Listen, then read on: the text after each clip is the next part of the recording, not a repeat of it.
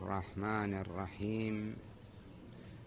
تارة يضطر الإنسان لأكل الحرام أو شربه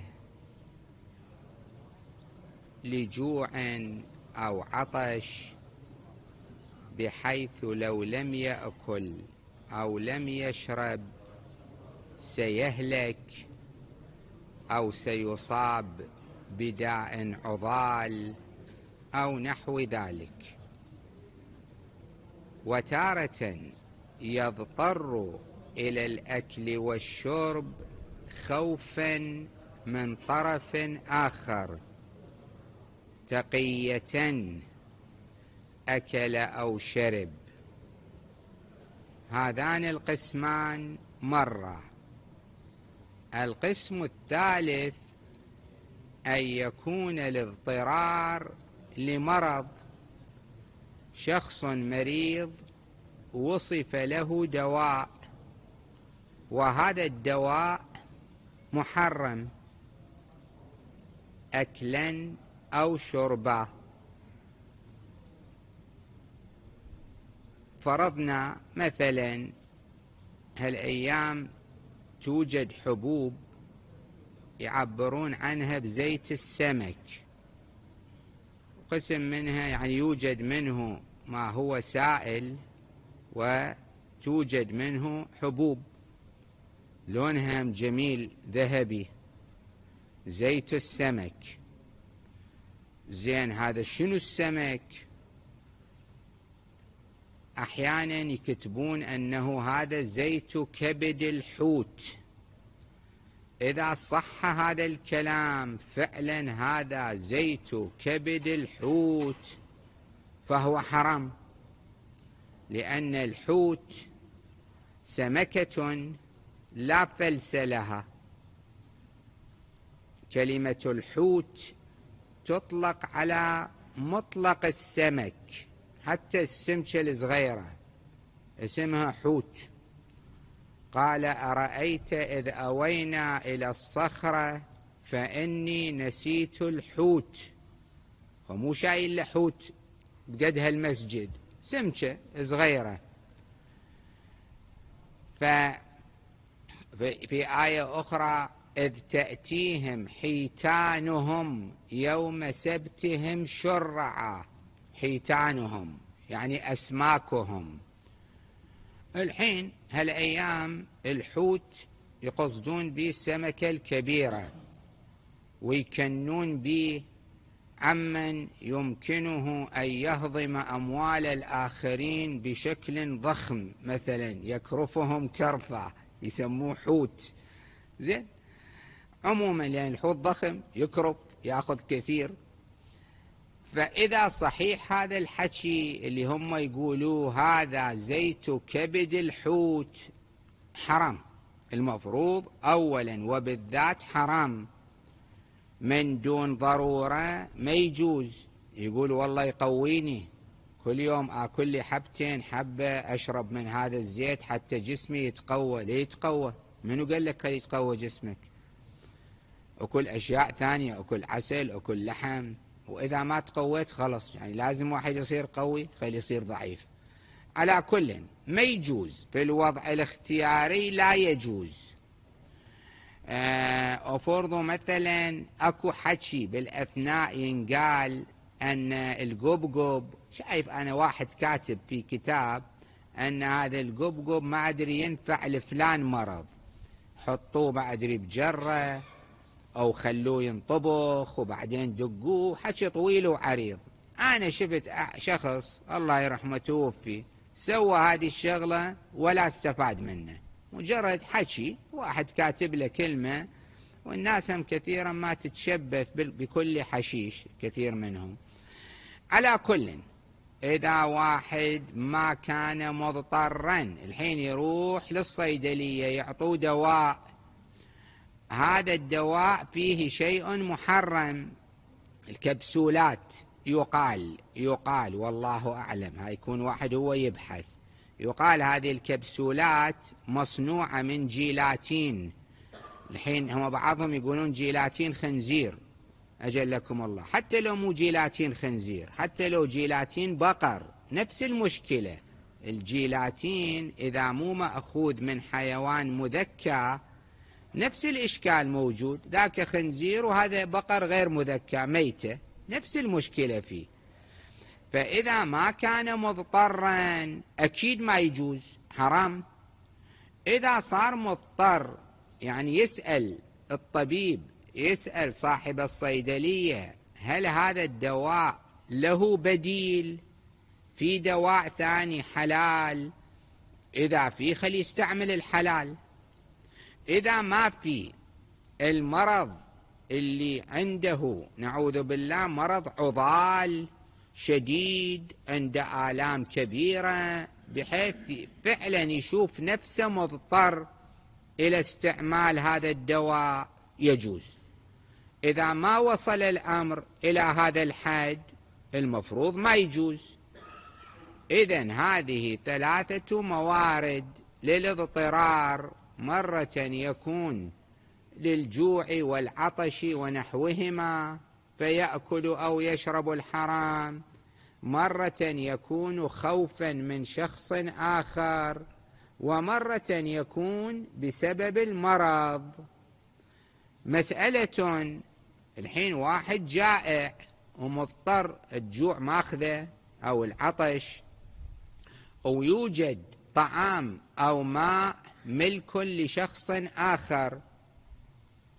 الحرام اللي كنا نتكلم عنه سابقا الحرام الذاتي. لحم خنزير لحم ميتة. الحين الحرام اللي مرتبط بحقوق الناس هذا لحم شاة هذا خبز هذا ماء. لكنه ملك الآخرين.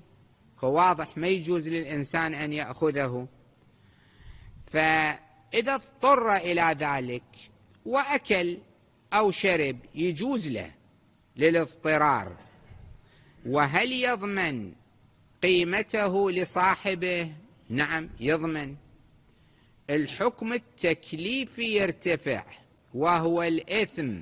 هذا لو واحد يأخذ خبزة شخص آخر يأكلها من دون إذنه أولا مرتكب معصية عليه إثم. ثانيا هو ضامن يكون يروح يرجع هذا الشيء أو قيمته إلى صاحبه. المضطر يرتفع عنه الحكم التكليفي وهو الإثم لا إثم عليه. لكن الحكم الوضعي باق بحاله. يكون بعد هذا يدفع سعره قيمته لصاحب ذلك الطعام أو ذلك الشراب. على شنو؟ الحرام أكله أو شربه مو بالضرورة دائما تترتب عليه آثار تكوينية آثار وضعية مثل ما يسمونها. هناك أشياء هي بذاتها فيها ضرر ذاتي فيها أثر. عادة يمثلوا لها بالخمر اللي يشرب خمر ولو كان مضطر يسكر. يقول مو أنا مجبور كنت هم لازم أسكر. إيه تسكر. هذا الخمر بطبيعته مسكر مجبور كنت لو مختار. أو مثلا أفرضوا لحم الخنزير أجلكم الله الوارد أنه يذهب بالغيرة. لحم الميتة الوارد أنه يقسي القلب. الحين واحد يقول أنا مضطر أو ما كنت أدري. هذه مدة يجيبوا له لحم ويأكل. بعدين تبين هذا لحم غير مذكى. يقول أنا ما كنت أدري. أشو قلبي صار قاسي؟ نقول له إي صار قاسي. يقول مو أنا ما كنت أدري. لا تدري تدري لو ما تدري. هذا اللحم بطبيعته يقسي القلب رضيت أم أبيت؟ لكن هذه مو دائما موجودة. مثل هذا الفرض الشخص اللي هو مضطر أن يأكل طعاما للغير وهذا الطعام بذاته ما في مشكلة. هذا خبز هذا لحم هو بذاته ما في مشكلة. المشكلة أنه هو حق الناس. فإذا ما كان معتدي مو في حالة عدوان أكله مضطرا إليه ما له تأثير.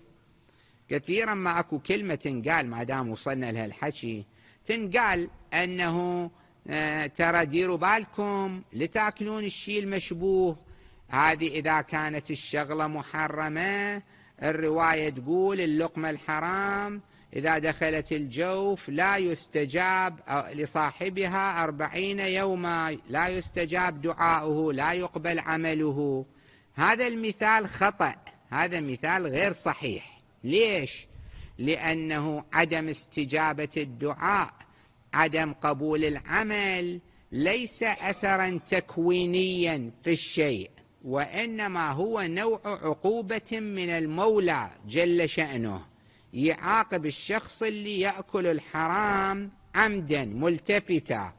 أما إذا هو ما كان يدري الله عز وجل ما يعاقبه ما يؤاخذه بأن لا يستجيب دعاءه بأن لا يقبل عمله. هذا مو أثر تكويني مو أثر وضعي. هالمثال خطأ. كثيرا ما يتكرر هالمثال. هالمثال غلط. قول مثلا جيب مثال أنه يأكل لحم خنزير تروح غيرته آه تروح غيرته. يقول والله أنا ما كنت أدري. هاي المدة يجيبوا له لحم خنزير وهو يأكل ما يدري. يقول هذا لحم خروف. عقب مدة شاف غيرته قاعدة تروح شوية شوية.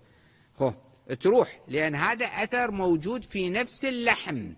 في نفس اللحم شيء أكو فيه شيء يأثر هالتأثير.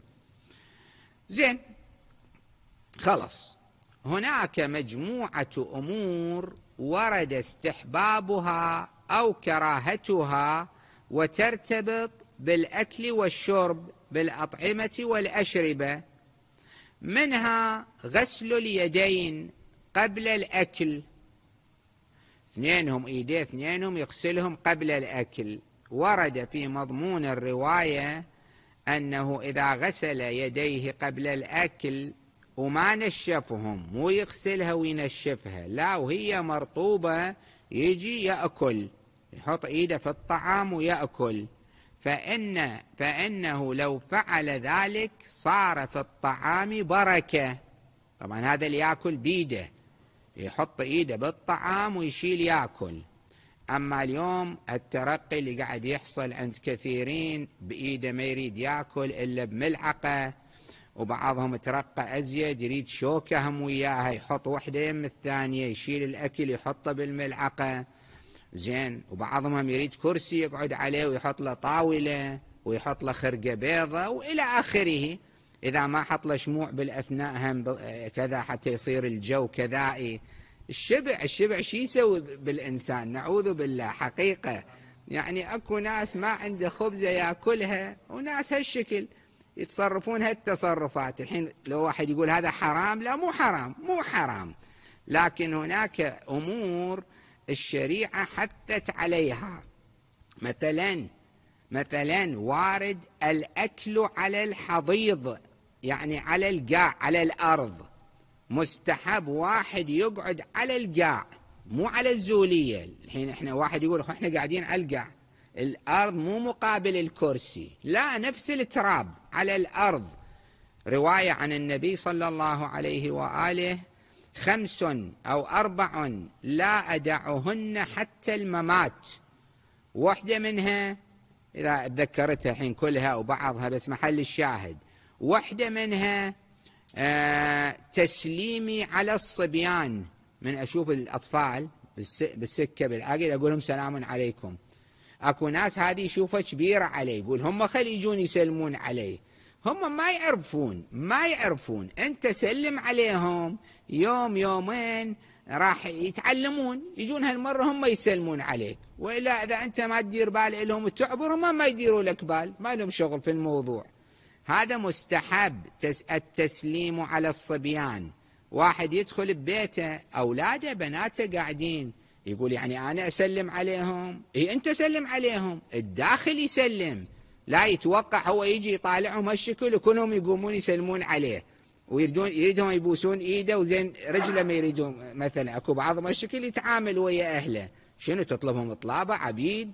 عبيد إلك إماء تريدهم إلا يبوسون إيدك ورجلك و... والله شنو يصرف عليهم؟ يعطيهم شوية طعام مثلا دشداشة ثوب. هذه ما تصير. على كل تسليمي على الصبيان.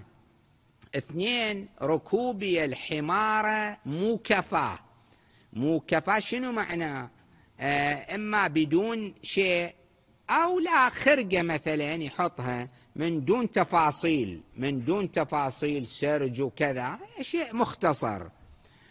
وحدة منها ها وحلبي العنز بيدي. الصخلة السخلة العنز أنا أحلبها بإيدي. هذا نوع من التواضع. يعني النبي صلى الله عليه وآله ما يقدر يقول للواحد روح احلب لي العنزة يقدر. هذا تواضع وحدة منها أكلي على الحضيض. على الحضيض ضاد. ضاد أخت الصاد. شنو يعني على الحضيض؟ يعني علقع علقع الحين إحنا هذه الأيام نادرة بالنسبة لنا أنا مرة مرتين بالبيت قلت لهم خلينا آكل يوم من الأيام على الحضيض الحين إيش صاير؟ خوش حضيض هم عندنا. كل أرض آه، كذا ناعمة ولطيفة يعني ما فيها شيء مو حضيض تراب وواحد يتدمر. ومع هذا لا إلا يصير سفرة وفرش يحاول الإنسان بالسنة بالسنتين مرة يشوف لقاع ويقعد عليها وياكل. زين هذا زين. الحين تتطور يريد قلت ملعقة وشوكه وبعضهم ما يأكل ما يأكل. إذا ماكو شوكة وملعقة يقول شلون آكل؟ من يصير ما عنده شيء ذاك الوقت يعرف شلون يأكل بإيده مثلا. وكرسي وطاولة وخرقة بيضة. ويريد شموعهم يشبوا له بالأثناء. ما علينا. فيغسل يديه قبل الطعام والرواية تقول لا ينشفهم وهي مرطوبة قاعدة تنقط يجي يحط إيده بالأكل يحطها فهذا يورث البركة في الأكل. أكو شيء اسمه بركة. هاي البركة شغلة آه، تحس ولا تلمس. مو كل شيء ينقاس بالإيد يقول له والله حط لي شوية بركة بإيدي. هذه ما تقدر تلمسها بإيدك بس هي محسوسة يحس الإنسان. أحيانا يحصل له مبلغ من المال يشوف بيه بركة بركة يستفيد منه. يأكل يشرب يشتري له سيارة يشتري له كذا يستفيد منه. واحيانا لا هو نفس المبلغ ما يستفيد منه. تصير عنده نشلة يصير بطنه توجعة يروح للمستشفى أخذوه منه. طارت المية ميتين دينار راحت. يعني ما صار فيها بركة ما استفاد منها أو سرقت منه أو أي شيء آخر صار. يعني حيف واحد يستحيف أنه الميتين دينار المية دينار تروح بهالشكل شغلات. آه، ويحصل فيها خير أحيانا. البركة شيء ثابت الروايات والآيات الكريمة تتكلم عن البركة. عموما فأول شيء يغسل يديه قبل الطعام. هذا واحد. اثنين بعد الطعام يغسل ايديه عقب الأكل. يعني اكو ناس ما تغسل ايدها بعد الاكل. فعلا أنا اليوم أشوف بهالزمان ناس لأنه يأكل بالملعقة والشوكة. ما يأكل ما يرضى. أنا شفت بعض المؤمنين مؤمن هو خير لكن يصر إلا بالملعقة والشوكة. زين حين أكل افتهمنا بهذه. خلص ما يغسل إيده. على أساس والله إيده نظيفة إيده ما صار فيها شيء. خلاص قام راح قعد أو نام أي شيء. غسل اليدين بعد الطعام ممدوح. وخصوصا اللي يأكل بإيده. سابقا بعضهم كان يأكل بإيده ما يغسل إيده. إما لشح شح المياه أو صابون ما عنده يفرك إيده بالقاع وخلصت. مثلا ممدوح من الأمور الممدوحة غسل اليدين أيضا بعد الطعام. هذه اثنين. ثلاثة. أن يبدأ صاحب الدار إذا كان عنده ضيوف أن يبدأ هو بالأكل. راعي البيت هو يبتدي ياكل أول شيء. وبعد يكون آخر واحد يقوم عن السفرة. يخليهم كلهم يقومون هو يقوم بعدين. وعلل ذلك بأنه ربما بعض الضيوف يخجلون. يعني يمدون إيدهم كذا خلي هو يقعد يمد إيده هم راح يتشجعون. بعدين لا يقوم بسرعة لأن إذا قاموا بسرعة ذول الضيوف هم يقولون قام راعي البيت شو نسوي؟ إحنا مخلي نقوم. يظل قاعد وياهم إلى أن يقومون. هذه مستحبات آداب. وبعد مستحبات أخرى تأتينا إن شاء الله.